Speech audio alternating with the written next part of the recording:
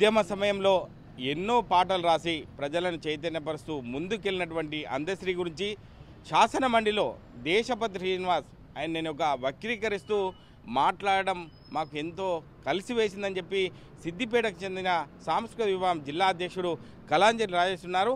వారిని అడిగి తెలుసుకుందాం. చెప్పండి ఎటువంటి ఉద్యమంలో పనిచేసినటువంటి అందశ్రీకి అంటే దేశపతి శ్రీనివాస్ గారు ఎట్లా వక్రీకరించి మాట్లాడడానికి అనిపిస్తుంది? ఏం చెప్తారు ఆ విషయంలో మీరు? అది ముమ్మాటికి మాకు తెలిసిన మట్టుకైతే దళిత సాహిత్య సమితిగా అగ్రకుల అహంకారమే ఆధిపత్య పోరు కోసమే అతను తెలంగాణకు కాళిదాసు కవిగా గుర్తించబడి సమాజమే పుస్తకంగా మాటలనే పాటలుగా పరిస్థితులనే పాటలుగా రాసి పాడేటువంటి అందశ్రీని ఎద్దేవ చేస్తూ మాట్లాడమంటే దీన్ని తీవ్రంగా మేము ఖండిస్తున్నాం. దళిత కవులు కళాకారులుగా దీన్ని ఎక్కడ కూడా మేము సహించేటువంటి ప్రసక్తి కూడా లేదు. అతను ఆ సబ్జెక్టే తీసుకోవాల్సిన అవసరం లేదు కదా ఆయన స్థాయికి.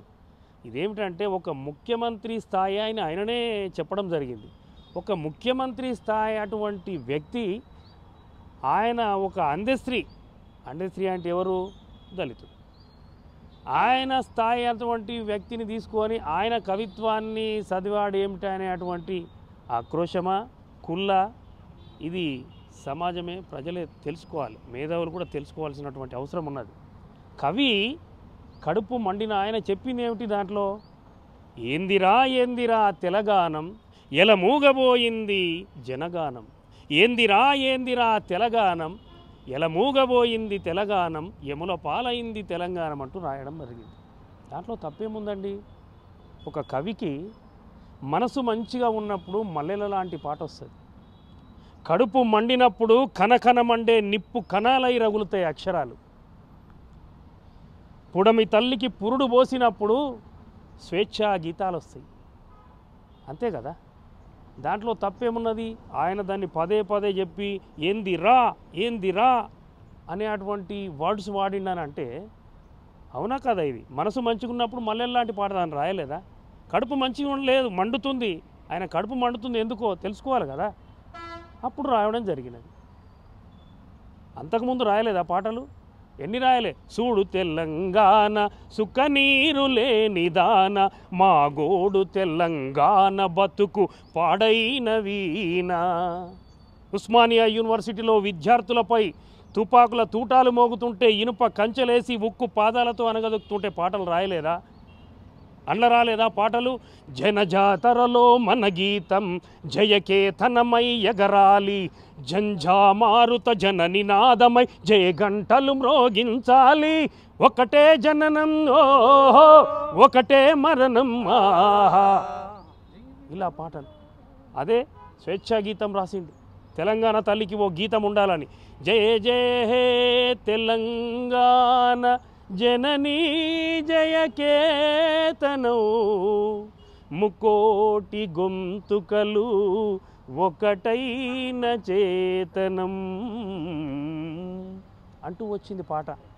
ఆ పాట గతంలో ముఖ్యమంత్రి ఒక దందశ్రీని ప్రశంసించినటువంటి వ్యక్తి ఈరోజు దేశపతి శ్రీనివాస్ ఇలా మాట్లాడడం మరి ఎట్లా ఎట్లా చూడబోతున్నారు భవిష్యత్తులో? అది అదే కదా మా ఆవేదన. ఆ స్థాయి అటువంటి మనిషి అంతది రాసినప్పుడు దాన్ని మేము ఎవరిని విమర్శించడం కాదు ఇది. మా ఆత్మాభిమానం దెబ్బతింటుంది ఇక్కడ. దళిత కవులు కళాకారులుగా మా ఆత్మాభిమానం దెబ్బతింటుంది కాబట్టి మేము మాట్లాడడం జరుగుతుంది. మాట్లాడకుంటే మా హక్కులను అణచివేసినట్టే అవుతుంది. కాబట్టి ఆయన ఆ రోజు రాసినప్పుడు దాన్ని గత ప్రభుత్వము గత ముఖ్యమంత్రి జాతీయ గీతంగా తెలంగాణ గీతంగా ప్రకటించడం జరిగింది. ఆ తర్వాత ఏమైందో మరి? దాన్ని పక్కన పెట్టడం జరిగింది. ఆయన కడుపు మండదా? ఆయన ఉద్యమానికి ఎన్ని పాటలు రాసిండు? ఆయన పాటలతోటే కదా. ఆయన లాంటి పాటలతోటే ఆయన పాటలు మన గోరటి వెంకన్న పాటలు అదేవిధంగా మన జయరాజన్న పాటలు వీళ్ళ పాటలతోటే ఉద్యమం లేచింది. ఆ ఉద్యమం పాటలన్నీ పాడుకొని వచ్చిన తర్వాత ప్రకటించిన తర్వాత పక్కన పెడితే ఆయనకు బాధ ఉండదా? అప్పుడు రాయలేదా ఆ పాట? అప్పుడు రాలే కాలేదా? మరి అప్పుడు ఎందుకు స్పందించలే ఈయన?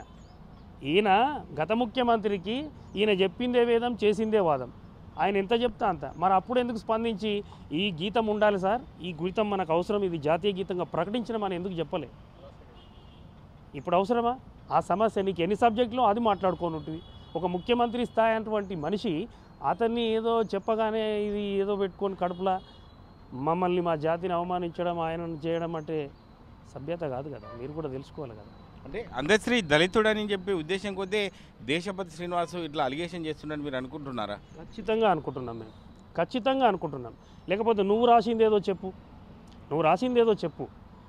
ప్రస్తుతము ఇప్పుడున్నటువంటి ముఖ్యమంత్రి రేవంత్ రెడ్డి ఉద్యమకారులను ఉద్యమ కవులను కళాకారులందరినీ చేరదీసుకొని వాళ్ళ సలహాలు తీసుకుంటుండ్రు అంతటి స్థాయి మనిషిని ఈయన విమర్శించి చెప్తే కూడా ఆయన తగ్గి ఆ మీటింగ్లో తగ్గి శాసనసభలో తగ్గి మాట్లాడి మీరు సలహాలు ఇస్తే కూడా తీసుకుంటాను. నాకు అది నచ్చింది కాబట్టి నేను చేసినటువంటి మాటను ప్రస్తావించడం ముఖ్యమంత్రి స్థాయిలో అంటే ఆయన ఆ విజ్ఞత ఎంత గొప్పది.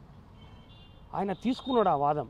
తీసుకున్నప్పుడు మీరు మీకు నచ్చితే మీరు ఇవ్వని ఉంటుంది ఆ వాదమే తీసుకోవాలని లేదు కదా. ఆయన తీసుకొని అందశ్రీ అనగారిన కులాలకు ఒక కవిగా తెలంగాణ కాళిదాసుగా ఇతను అణచివేయబడ్డాడు. ఖచ్చితంగా ఇతని కవిత్వాన్ని నేను తీసుకోవాలి ఇతనికి ఏదో నేను చేయాలి ఇతను ఉద్యమం చేసిండు కాబట్టి. ఈయన శ్రమ ఉదాగా పోకూడదు అనేటువంటి ఆలోచనతో ముఖ్యమంత్రి రేవంత్ రెడ్డి గారు ఆయన చేరదీసి చెప్పడం జరిగింది. దానికి కూడా ఆయన సంజయ్జీ చెప్పని అవసరం లేదు వాళ్ళకు. ఆయన దేశపతి గారికి సంజయ్ చెప్పినట్టుగా దిగదారి తగ్గి మాట్లాడని అవసరం లేదు. ఆయన తగ్గి మాట్లాడడం మాకు కూడా బాధ అనిపిస్తుంది. ఇక్కడ మా అందరినీ మా దళిత కవులను కళాకారులు అందరూ కూడా ఉపయోగించుకొని ఇలాగే చేస్తారా అనిపిస్తుంది మా బాధ. అది మా బాధ కదా? కడుపు మండిన బాధ. తగ్గి మాట్లాడాలని అవసరం లేదు కదా? ఖచ్చితంగా చేశాను. అది నాకు అవసరము. కడుపు మండి చేసాడు కాబట్టి అది తీసుకున్నాను. మీరు సలహా ఇస్తే మీరు తీసుకుంటారంటే అయిపోయేది. మాకు ఇంకా సంతోషం ఉండేది. దయచేసి మేము సమాజానికి కానీ ఇప్పుడున్న ప్రభుత్వానికి కానీ ప్రజా నాయకులకు కానీ చెప్పేది ఏమిటంటే మేము సమాజంలో బతికే వాళ్ళం. దళిత కవులు కళాకారులు. కష్ట సుఖాలు కోర్చి కష్టాలు చేసి నిప్పుల కణాలై అక్షరాలను రగిలించి పాటలు పా రాసి పాడుతుంటాం. మా కవులు కానీ కళాకారులు కానీ దాన్ని అవసరానికే ఉపయోగించుకొని మమ్మల్ని వదిలేయద్దు. దయచేసి ఖచ్చితంగా మాకు ఏవలసినటువంటి పెద్దపీట వేయాలి. దీన్ని ఎవరు కానీ ఎక్కడ కానీ ఖచ్చితంగా మా దళిత కవులను కళాకారులను ఎవరైనా కించపరిచినట్టు ఎద్దేవా చేసినట్టు ఏరిపారేసినట్టు మాట్లాడితే ఖచ్చితంగా తీవ్రంగా ఖండిస్తాం హెచ్చరిస్తాం. ఎక్కడ కానీ దేనికైనా మేము సిద్ధంగా ఉంటామని తెలియజేస్తున్నాం మీ ద్వారా. Thank you. అంటే ని- మొన్న జరిగినటువంటి శాసన మండలిలో దేశపతి శ్రీనివాస్ అందశ్రీపై చేసిన మాటలను పూర్తిగా మేము వ్యతిరేకిస్తున్నాం. భవిష్యత్తులో ఇటువంటి పునరాయిస్తే పునరాగమిస్తే ఖచ్చితంగా మేము దాన్ని ఎదుర్కొంటామని చెప్పి తిరగబడతామని చెప్పి ఒక సిద్దిపేట వేదికగా ఉన్నటువంటి కళాకారులు కోరుకుంటున్నారు. Vote to studio. మరిన్ని వీడియోస్ కోసం ఛానల్ సబ్స్క్రైబ్ చేయండి. లేటెస్ట్ అప్డేట్స్ కోసం వాట్సాప్ ఛానల్ని ఫాలో చేయండి. అండ్ లింక్ డిస్క్రిప్షన్లో ఉంది.